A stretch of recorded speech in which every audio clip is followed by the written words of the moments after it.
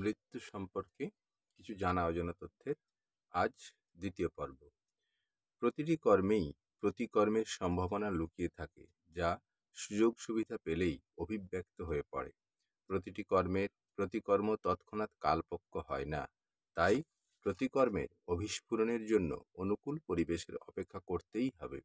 প্রতিটি পরিবেশ মানুষের কোনো না কোনো প্রতিক্রিয়ার ভোগের অবশ্যই অনুকূল, কিন্তু এটাও সত্য যে সব পরিবেশই সব ধরনের প্রতিক্রিয়ার অভিস্ফুরণের অনুকূল নয়।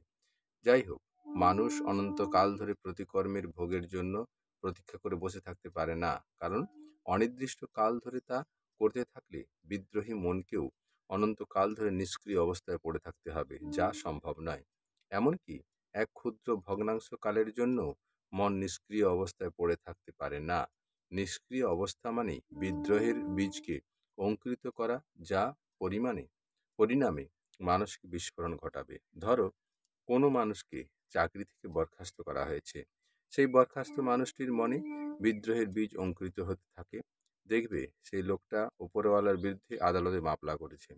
বহু সংখ্যক সমর্থক মানুষের সঙ্গে যোগাযোগ করছে, প্রতিবাদ সভা করছে, ইত্যাদি ইত্যাদি। নিষ্ক্রিয়তার বিরুদ্ধে এটাই স্বাভাবিক প্রতিক্রিয়া। মনকে যদি মুহূর্তকালের জন্য নিষ্ক্রিয় বা নিরুদ্ধ করা হয়, তাহলে সে বাঁচতে পারে না। কোনো জীবের মৃত্যুর অব্যবহিত পর থেকেই তার নতুন আধারের সন্ধান শুরু হয়ে যায়।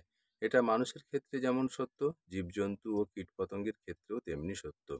যেখানে সে অনুকূল পরিবেশ পাবে, সেখানেই সে নতুন শরীর পেয়ে যাবে। তবে কি, যতদিন নতুন শরীর সে না পাচ্ছে, ততদিন কি তার মন সত্যিই নিষ্ক্রিয় থাকে? উত্তরে বলব না। তখনও সে কোনো না কোনো কাজে লিপ্ত থাকে। তার নতুন শরীর, নতুন আধার খোঁজার চেষ্টা চলতেই থাকে।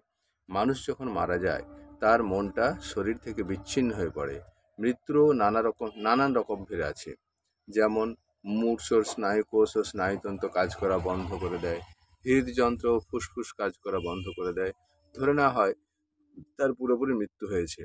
কখনো এমন হয় যে স্নায়ুতন্তু হৃদযন্ত্র, ফুসফুসের কাজ করা বন্ধ করে দিয়েছে।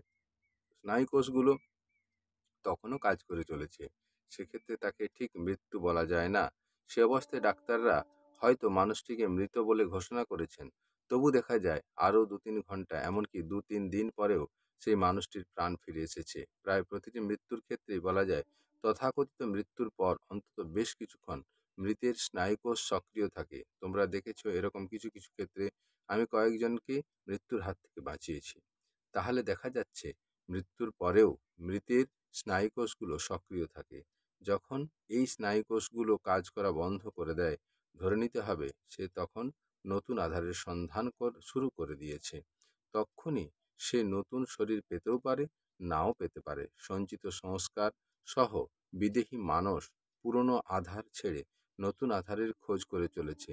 আর সে বিদেহী মানুষ খোঁজ করতে করতে এমন একটা উপযুক্ত আধার গ্রহণ করে বা পায় যা তার সঞ্চিত সংস্কারের স্ফুরণের পক্ষে সর্বাংশে অনুকূল হয়।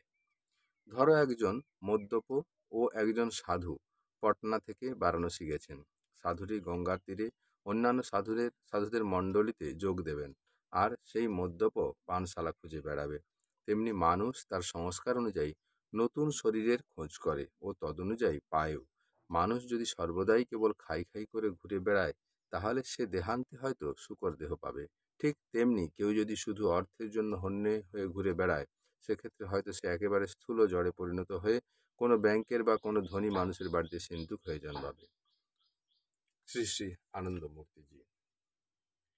নয়নেরি অঞ্জন মানুষরঞ্জন জনমে মরণে সাথী মোর তুমি।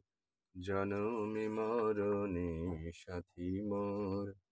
মঞ্জুল মহাকাশে অঙ্গলাবনী ভাসে, তোমাতে হয়েছি বিভোর আমি, তোমাতে হয়েছি বিভোর। নয়নেরই অঞ্জন, মানস রঞ্জন, জনমে মরণে সাথী মোর তুমি, জনমে মরণে সাথী মোর।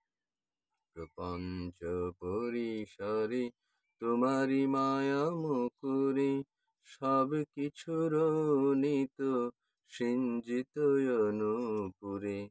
আখি তুলে ধরো, আমারই করুণা কর সব ভাবে গচিত চোর। জনমে মরণে সাথী মোর, নয়নেরই অঞ্জন মানস রঞ্জন জনমে মরণে সাথী মোর। কিছুই চাহি না আমি তোমারে ভুবনে, দাও পরা ভক্তি আত্মসমর্পণে।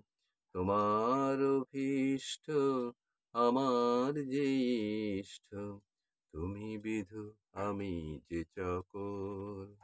সব জনমে মরণে সাথী মোর। নয়নেরই অঞ্জন মানস রঞ্জন জনমে মরণে সাথী মোর। তুমি জনমে মরণে সাথী মোর। শ্রী আনন্দ মূর্তি।